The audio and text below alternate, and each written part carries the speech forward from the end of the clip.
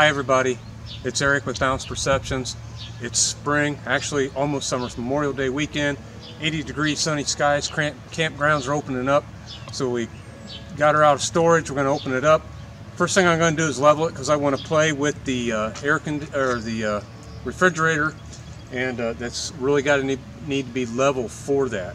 So this is what we use, it's called a BAL, B-A-L leveler. I think I paid like uh, $60 for it. I'm going to show you real quick how we put it on.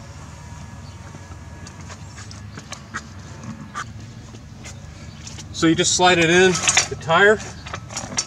This is just a big screw that hooks in a little cup down here. And you got a ratchet. And if you put it on right, it works. And we're about a degree and a half off. So this works pretty well. I already got it level front to back.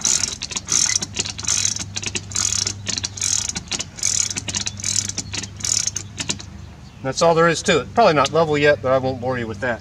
So uh, $60 or so, I think I got this one at one of the big box camping stores, a BAL leveler. Uh, works great for this uh, size trailer and smaller, I would say. Thank you. Thanks for watching. Be sure to like, subscribe, share. Happy camping.